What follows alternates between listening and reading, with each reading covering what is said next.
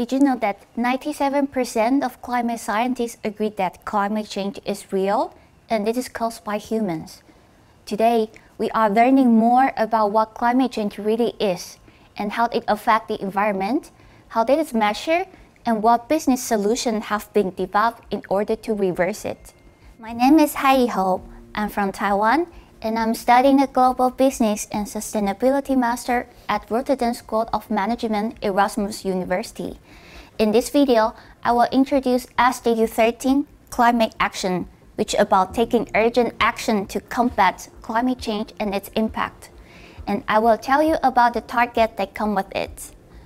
Global temperature has been increasing on average by 0.85 degrees Celsius since 1880 it may sound like a small change, but without urgent action to reduce CO2 emissions, global temperature is going to rise 6 degrees Celsius by the end of this century.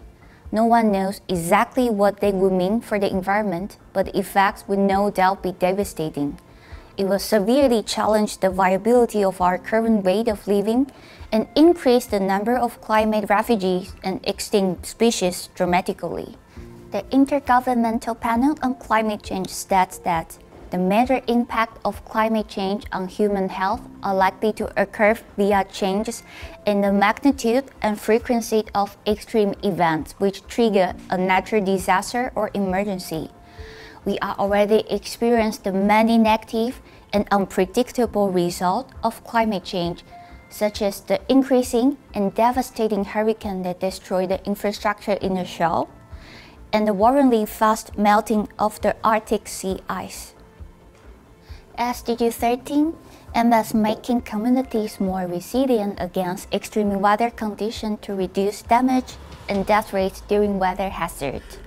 One of the targets is creating better national and international policies and communicating more about climate change and strategies to adjust to higher temperatures. However, not only government but also business played a crucial part in achieving SDG 13. Without commitment from countries and business in the form of effective environment policies and strategies, the temperature of our world will keep on rising faster than ever. However, there is a business case for contributing to this SDG. In order for business to keep on existing, it needs a stable environment, consumers that have resources to purchase the company's service or products, and employees that are able to work. In addition to this, companies can also benefit directly and financially for contributing to the reversing of climate change. You will hear more about this in the following video of this module. You should now have an idea of why climate change is important to business. In the next part of this module, Steve Kennedy, Associate Professor in RSM, Business Society Management Department, and Academic Director of the Center for Eco-Transformation will discuss the business opportunity surrounding innovation and climate strategies.